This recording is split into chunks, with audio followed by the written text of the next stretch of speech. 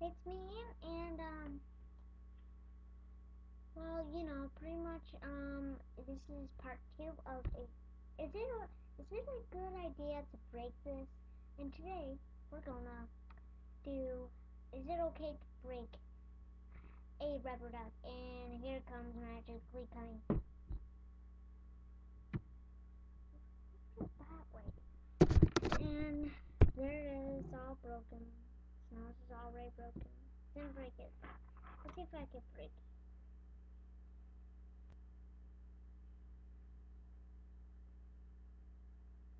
I think I could chop its head off.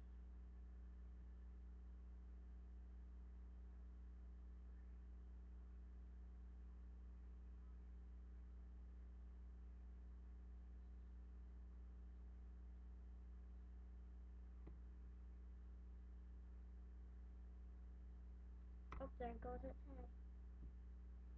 Oh my gosh.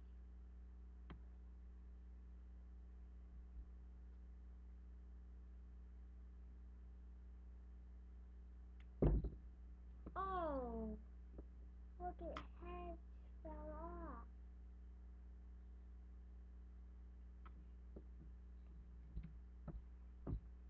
So yeah, that was a short video, huh? Yeah, and is it a good idea to cut off to destroy a rubber duck that can be cut? Well, uh, well, if you don't like a rubber duck, I guess yes, but if you love it, no, you would be terrified. So bye.